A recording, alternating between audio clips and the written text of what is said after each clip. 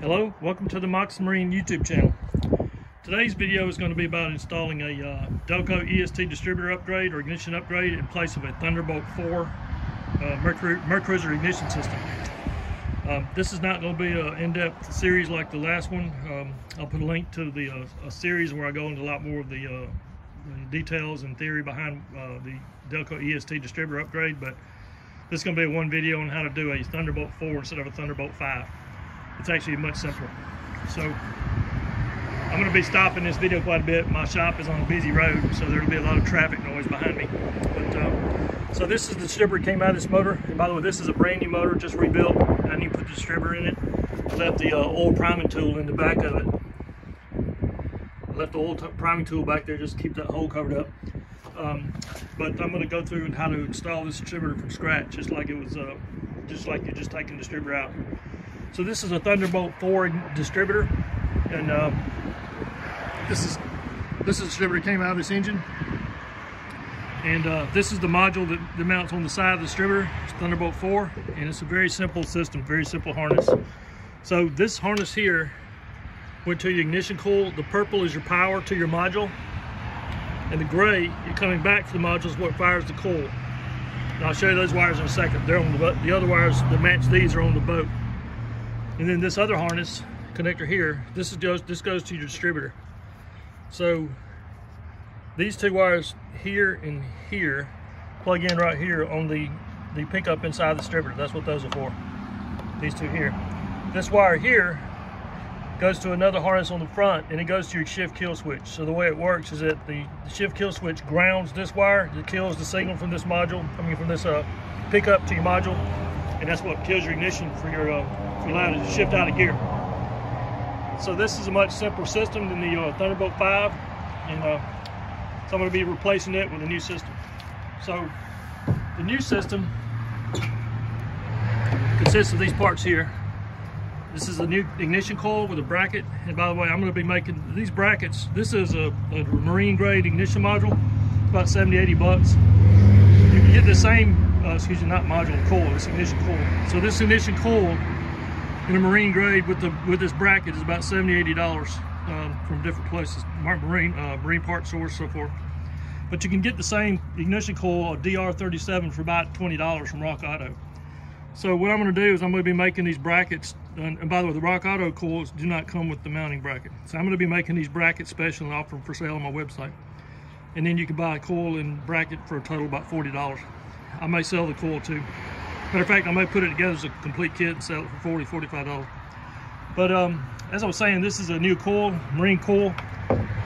It's no different than an ignition coil from a car truck. But I, do, I did buy these special harnesses to go with it. And those are about $20 from Michigan Motorz. I'll, I'll put all these parts in, a, uh, in the description of this video.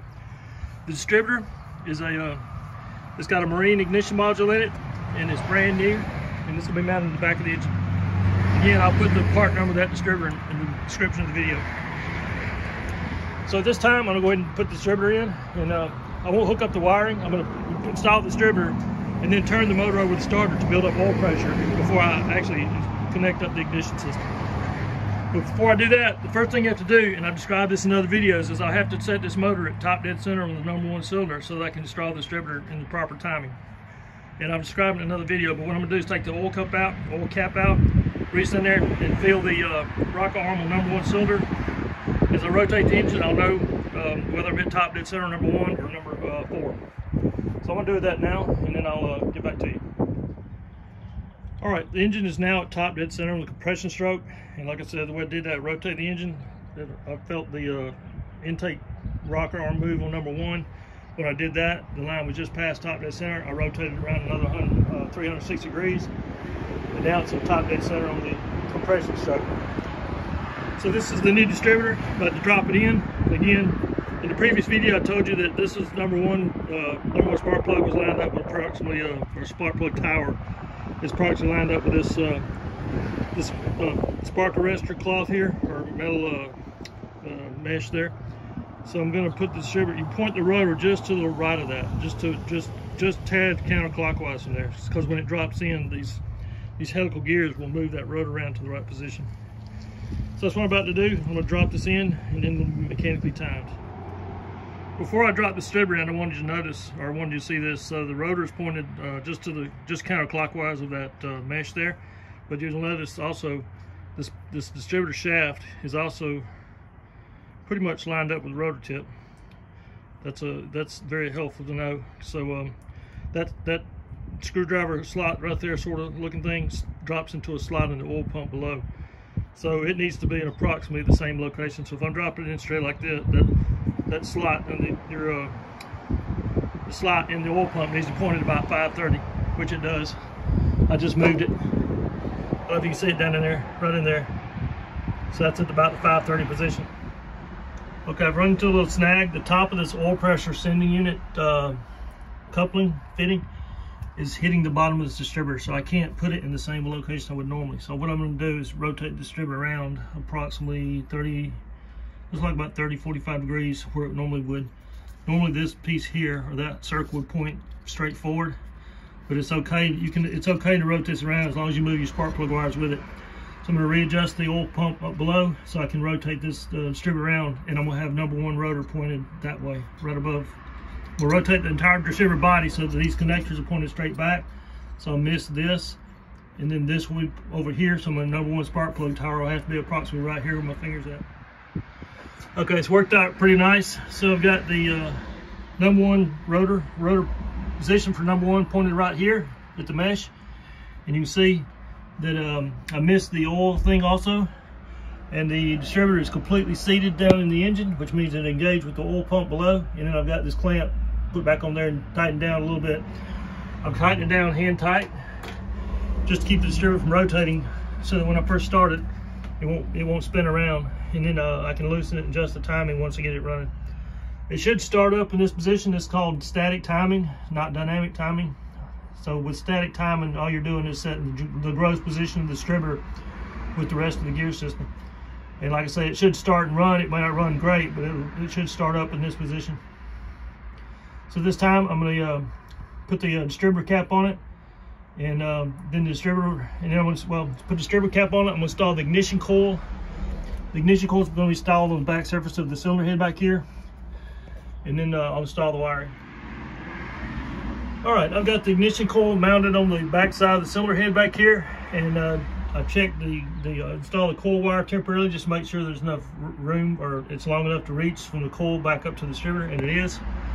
So at this time, all that's left is to connect the harness from the boat into the ignition module. So uh, the ignition coil, excuse me. So ignition coil harness comes with these two wires here. It's a white and a red. The red is 12 volts positive to your coil. And that, that connector also feeds 12 volts positive over to this uh, distributor, the module distributor through the, through the distributor harness. And then the white wire that you connect, um, the white wire connects to your tachometer on your boat. So that's this, uh, so the two wires in, that are left in the boat are a purple and a gray. And they are right here and here, I think. So yeah. So here's your, these were the wires that were connected to your ignition module. It was the, the Thunderbolt ignition module. So I'm gonna cut the purple there and the gray there. I'm gonna connect the, the purple to red and the gray to the white and it'll be done. I'm going to cut off these uh, ring terminals and then uh, use uh, waterproof butt splicers to do the rest of the work.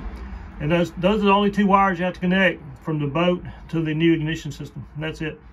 The uh, harnesses that come with the coil and distributor take care of everything else. Very simple. So I'll do that now and then the, the wiring will be complete and uh, all that will be left is to install the, uh, the spark plugs and the coil wires and the ignition system will be done. All right, the wiring is done.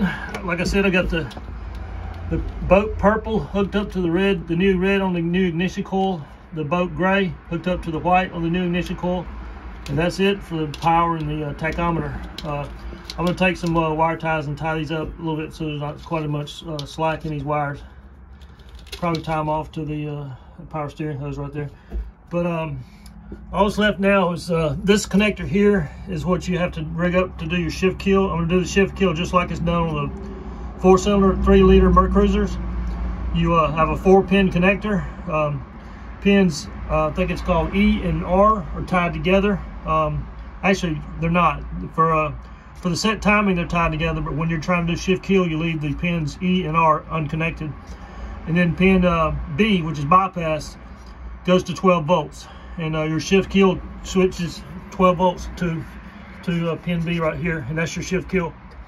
Um, so up here, the shift kill will be mounted here, and what I'm going to do is, uh, I believe the wire that feeds this choke, the wire that feeds the choke, which is right here, um, I believe it's some reason it's been tied off down there in the harness, but I'm to pick up 12 volts from there and go to the shift kill, and then the other, know, I'm to repurpose this. This right here was the old shift kill, it grounded, and uh, I'm going to use this as the new shift kill, going back here to my uh, terminal uh, B on the uh, terminal B on this connector here, and that'll take care of shift kill.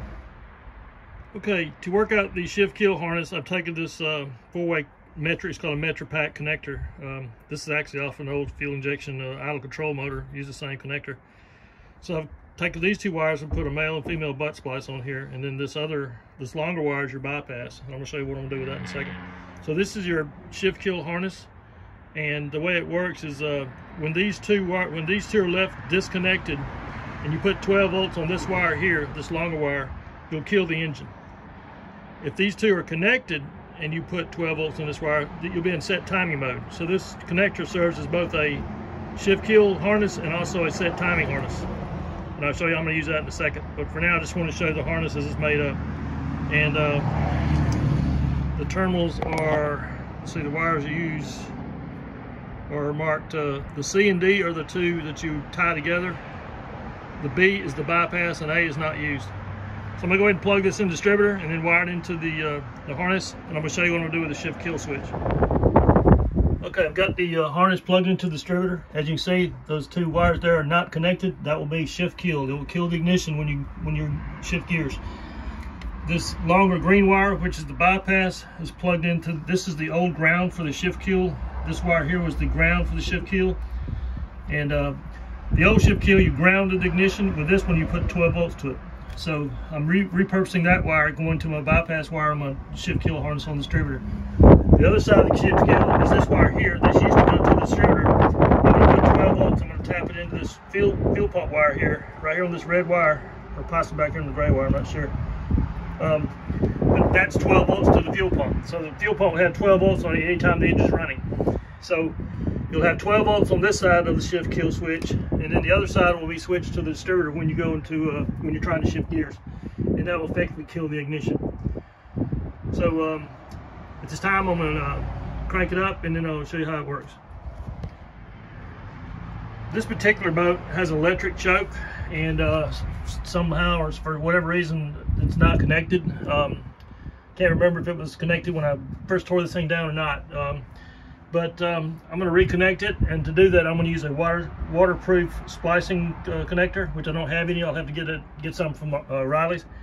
But uh, for now I've just got the uh, this wire here. This wire here will be part of the shift kill it'll be tied into the same 12 volts that I tie into here to go to the choke. So it'll be I'll come off this gray wire which is 12 volts and go to the choke and go to the shift kill at the same time with one connector.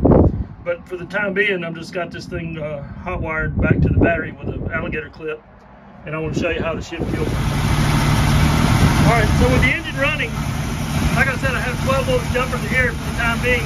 I'll fix that later. But right now, I've got 12 volts on this wire, goes to your shift kill switch, and then that other, the rest of the kill switch goes to your distributor. So all I have to do is push this down, push this lever down and simulate a shift, and it will kill the engine. That's how the shift kill works. Okay, to wrap up this uh, EST upgrade, I've got the power coming off of the, uh, choke feed, tapped off here, going to the shift kill switch, and then the other side shift kill switch goes to your distributor. And if you want to set timing, all you have to do is disconnect the shift kill, hook the two wires up, bypass the shift kill, and you'll be in set timing mode if you if you connect these two together here. So if you buy a full EST kit, you'll get two of these set timing type connectors. One is for set timing, one is for shift kill. But now you've got two tools, one of them you don't use, so you probably you lose it. So I like this way better. So that's it. Thanks for watching. Subscribe if you get a chance.